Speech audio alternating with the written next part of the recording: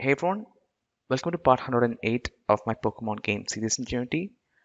So in this video, we'll convert our battle state to use state stack architecture. So before we start, let me give you an overview of what we're going to do. So we'll convert the main battle state to use state stack architecture and make it a game state like this. The battle state itself has lots of states under it, right? So we have things like action selection, move selection, and all that under the battle state. So in the future, we'll also convert those to use the state stack architecture by using another state machine inside the battle system. But in this video, our focus is to convert the battle state itself, not the states inside the battle. Okay. So first, let's create a script for the battle state.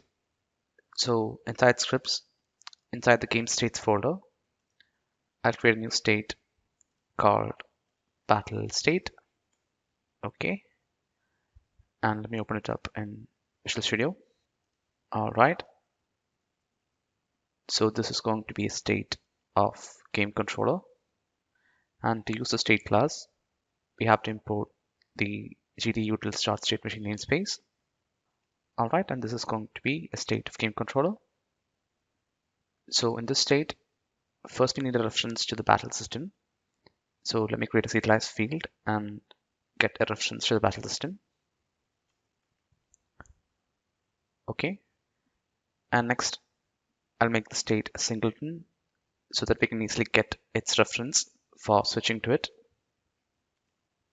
Okay, so I'll create a public static property and I'll initialize it from the Awake function.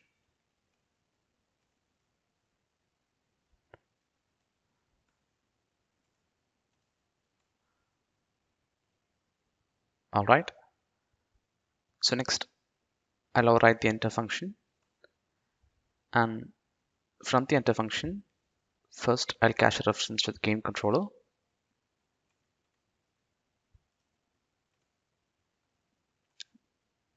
Okay. The same thing that we have been doing for all our states. And next, from the enter function, we have to start the battle. Right. So previously, the code to start the battle was in the game controller itself. So here we have two functions, start battle and start trainer battle for starting the battles. But now since we have a state machine, we can move that code into the enter function of our battle state. Okay. So first I'll move the code from the start battle function. So let me just cut this code we don't need the part where we set the state okay? And let's go ahead and paste it in our enter function. All right. So we have few errors here because we don't have access to these variables. So let's fix them one by one. So these are variables inside the game controller right? So we don't have access to it here. But some of these variables like the current scene is actually a property in the game controller. So since it's public, we can easily access it from the battle state. Okay. And other variables like world camera and player controller, they're not property, they're just private variables. So we'll have to expose them to be able to access it from battle state. So let's go ahead and create properties to expose the player controller and the world camera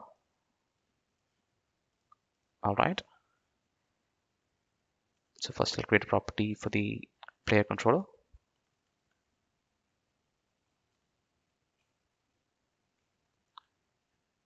And then I'll create one for the world camera.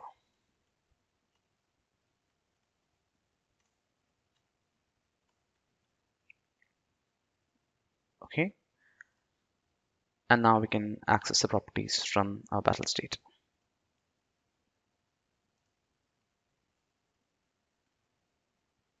So next, we need access to the trigger that started the battle. So this is something that we have in the start battle function. So it's not a variable in the game controller. So what we can do is we can pass the battle trigger as an input to the battle state. So here I'll create a property for the battle trigger. Okay. So this is going to be the input of the state. So let me just mark that as a comment. And now before switching to the battle state, we can set the trigger from the start battle function. Okay. So let's actually do that from the start battle function now. So first we have to set the trigger input of the battle state.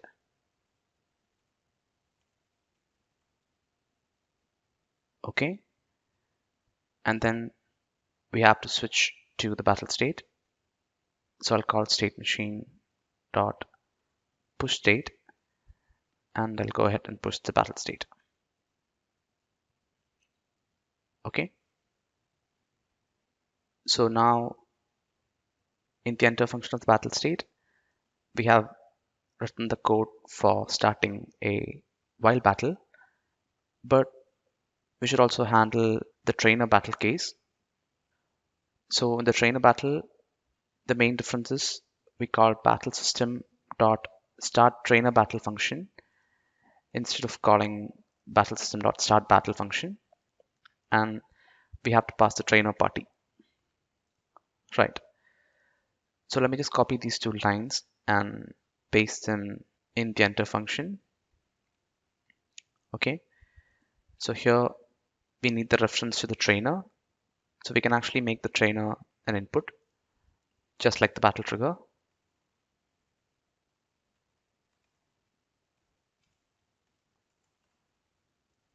All right. And what we can do is if the trainer is null then that means this is not a trainer battle right so in that case we can start a wild battle. And otherwise if there is a trainer then we can go ahead and start the trainer battle. All right? So now we also have the code for starting the trainer battle in our enter function of the battle state. So let's also go to our start trainer battle function and replace this code by just pushing our battle state. Okay. And we should also set the trainer input in this case.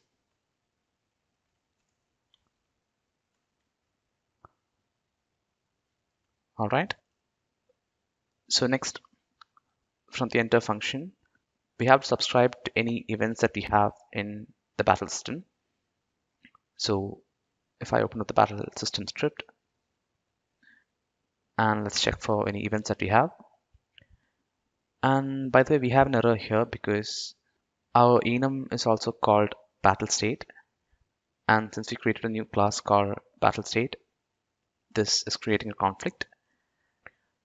So what we can do is we can change the name of this enum to battle states instead of battle state. So I'll use control RR and okay, we can't use control RR to rename this in this case because there is one conflict since the class also has the same name. So what I'll do is I'll just rename this to something else for now and then I'll rename the battle state enum to battle states. So right now we don't have any conflicts here. Okay. And now we can change this name back to battle state. All right. And by the way, this should be battle state and not battle states enum. All right. So now all the errors should be gone and our enum is now called battle states. Okay, so next let's look for any events that we have in the battle system. So here we have an event called on battle over, right? So if we have any events, then we have to subscribe to it from the enter function. So I'll subscribe to the on battle event, on battle over event from here. Okay. and I'll attach it to a function called on battle over. Let me go ahead and create the on battle over function over here. All right. And this function also takes a boolean variable. So if you go look at the place from which the function is called, I believe it's called from the okay we have a problem here when we renamed our battle state enum all these lines also got changed so this should be battle state instead of battle states so let me change all of that all right and now let's look at the battle over event okay so this is a function invoked by the on battle over event in the game controller. So here we have a boolean variable called won. So let me also create that over here. Okay. I'll actually rename this function from on battle over to end battle just to make it different from the name of the event. Okay. And next, we have to put all this code in the end battle function of the battle state. All right. But I don't want to put all these code right now because things like evolutions and all will be handled as a separate state in the future. So I'll just put the bare minimum to make the battle system work right now. So first let me just copy this piece of code. So this calls the battle lost function of the trainer if it was a trainer battle and if the player won the battle. Okay, so this will make sure that if the trainer loses once, then he'll not challenge the player again for a battle. Okay, so that's done. And next, we need to do things like disabling the battle system and enabling the world camera so that we can go back to the free roam state. But I'll actually do that from the exit function because we are enabling it from the enter function. So just to keep the code consistent, we'll do the opposite of this from the exit function. Okay, so from here, I'll just pop the current state. So this will pop, so this will pop battle state and go back to the free roam state.